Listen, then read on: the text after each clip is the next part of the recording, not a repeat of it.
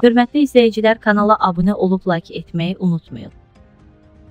Cənubi Afrika Respublikasının paytaxtı Cape Town şəhərində yerləşən parlamentin binasında yanğın başlayıb. Mətbuat az xəbər verir ki, yanğını söndürmək üçün əraziyə əlavə qüvvələr cəlb edilib. Yanğının lokallaşdırılması mümkün deyil.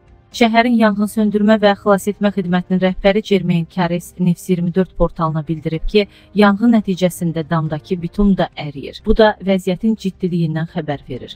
Həmçinin binanın bəzi divarlarının çatladığı, uçma ehtimalının olduğu barədə məlumatlar var.